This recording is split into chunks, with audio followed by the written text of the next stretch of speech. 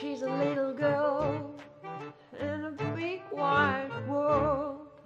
She uses father's shoes and grandmother's hat. The dress is from mother, trousers are from brother. The backpack is from grandpa. He gave all his food to read while on tree. She travels alone on the train.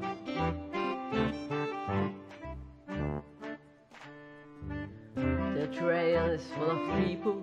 She hardly has anything to eat. Like a little lady next, give her bread and milk. The night comes, the train moves on. People start to sing and play music. It calms her down. Tomorrow is a big day. She will be maid the rest of her life. She listens while the music plays.